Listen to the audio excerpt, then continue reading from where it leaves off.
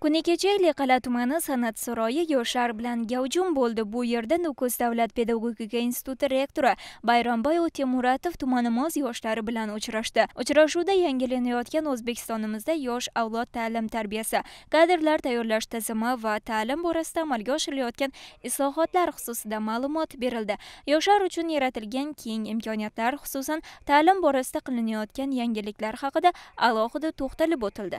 Yoshlar uchun maktabgacha ta'lim ta'limdan boshlab oliy ta'lim muassasasi magistratura va ikkinchi mutaxassislik bo'yicha o'qib ta'lim tarbiya olishini ta'minlash maqsadida davlatimiz rahbari tashabbusi bilan yoshlarga berilayotgan imkoniyatlar ular uchun yaratilgan sharoitlar xususida to'liq ma'lumot berib yangi ikki ming yigirma uchinchi ikki ming yigirma to'rtinchi o'quv yilida oliy ta'lim muassasalariga qabul va ularda yaratilgan yangi imkoniyatlar kunduzgi sirtqi va kechki ta'lim magistratura o'qishni ko'chirish yoki ikkinchi mutaxassislik uchun o'qish borasida kiritilgan va kiritilayotgan o'zgarishlar. Yoshlarni yanada yuksaklik sari qadam tashlashiga xizmat qilishi lozimligi ta'kidlandi. Oliy ta'lim muassasasiga yoki ixtisoslashtirilgan maktablarga o'qishga kira olmagan abituriyentlar umidini so'ndirmasliklari kelgusi o'quv yiliga qadar chuqur tayyorlanib yaratilgan imkoniyatlardan unumli foydalanishlari mumkinligi yoki tadbirkorlik bilan shug'ullanishlari mumkinligini aytib